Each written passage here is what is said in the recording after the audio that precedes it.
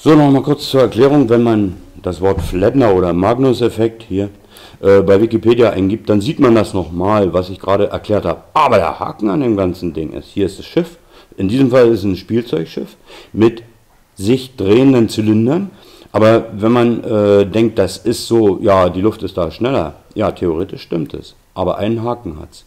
Leider ist der ähm, dieser Magnus-Effekt genau verkehrt rum. Das liegt auch daran, dass die Luft hier mitgerissen wird. Das ist das Schicke. Also man ist immer geneigt zu sagen, ja, dann muss es ja so sein. Das würde, also dann muss es ja so sein, wie vorhin im äh, Video erklärt.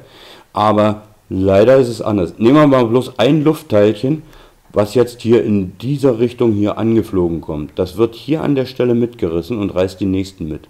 So kann man sich am leichtesten erklären und wird demzufolge hier nochmal beschleunigt. Und beschleunigte Luft heißt Unterdruck. Das heißt, die Kraft wirkt in der Richtung.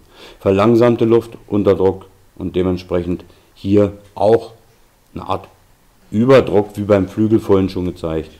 Ähm, auf Kräfteparallelogramme gehe ich jetzt mal nicht ein. Es, wer will, der kann sich das dann, äh, Rotorschiffe kann man auch machen, ähm, der kann sich das dann nochmal bei Wikipedia genauer angucken.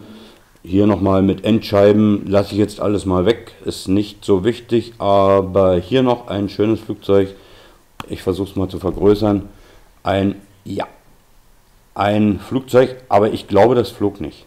Dieses nicht hier.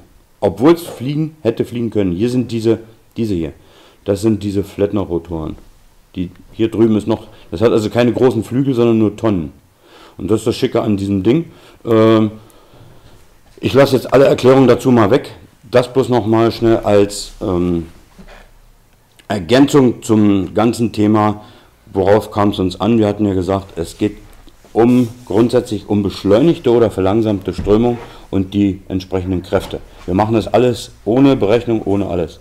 Das sei jetzt an der Stelle als Verweis genug, also Flettner Rotor bitte bei Wikipedia eingeben und im Internet kann man sich dann, naja, halb tot lesen dafür und es gibt schöne Sachen, äh, und sehr interessante Dinge. Aber wir wollten ja wissen, wie ein normales Flugzeug funktioniert und deswegen ist das Video an der Stelle erstmal dicht. Es ging nur um die Strömung.